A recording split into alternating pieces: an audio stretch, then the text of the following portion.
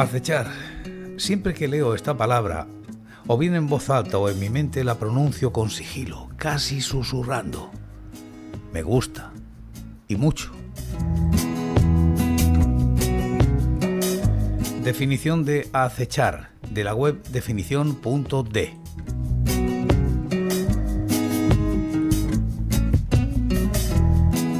El vocablo latino y derivó en acechar un verbo que refiere a esperar o analizar con cautela algo o a alguien con un determinado fin.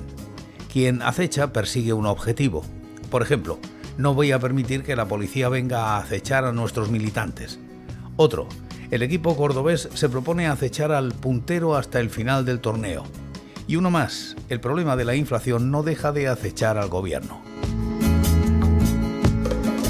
De acuerdo al contexto, la idea de acechar puede tener connotación positiva o negativa. Si tomamos el caso de una competencia deportiva, la intención de acechar al líder de un torneo o de un ranking es saludable, ya que implica que los demás competidores seguirán esforzándose con el objetivo de alcanzar la cima.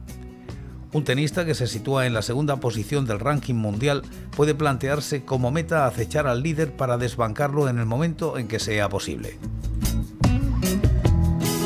En otros ámbitos o circunstancias, acechar es una acción condenable. Un delincuente sexual puede dedicarse a acechar a las mujeres jóvenes hasta que encuentra la oportunidad de realizar un ataque.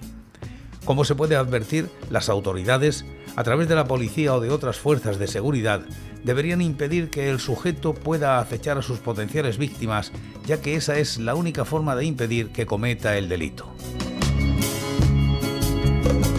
A pesar de que los medios de comunicación y el cine intenten hacernos creer hasta el hartazgo, es sabido que las mujeres no son las únicas víctimas del acoso sexual. Por el contrario, cualquier persona puede sufrir este tipo de ataques, así como ocurre con la denominada violencia doméstica. Los niños de ambos sexos son acechados por los pederastas, así como muchos monaguillos caen en las garras de curas poco humanitarios y muchos hombres adultos sufren el abuso sexual tanto en sus hogares como en las cárceles.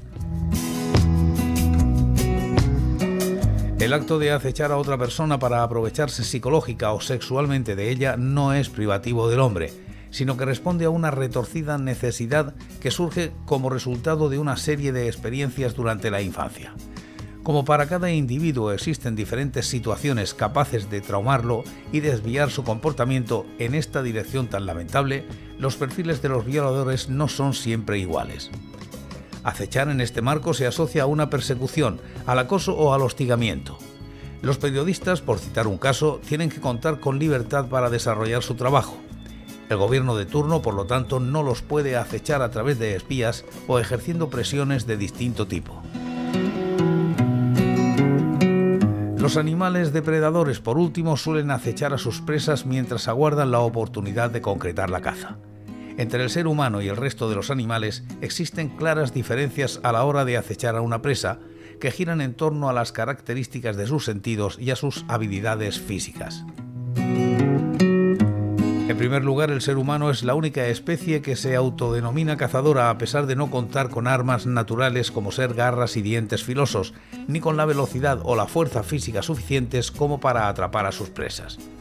Como si esto fuera poco, nuestros sentidos no son adecuados para seguir el rastro de un animal en su entorno natural y no toleramos la carne cruda, al menos no podríamos arrancarla de un cadáver y comerla directamente. En pocas palabras, no somos verdaderos cazadores. El resto de las especies de animales, aquellas que realmente nacen con la dura obligación de cazar para mantener el equilibrio del planeta, tienen a su disposición sentidos muy agudos, garras y dientes poderosos y un sistema digestivo que les permite comer a sus presas sin necesidad de procesarla de ninguna manera.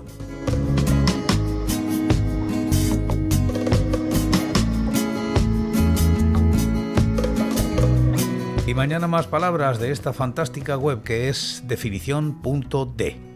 ¿Estaréis aquí para compartirlas conmigo? Yo sí.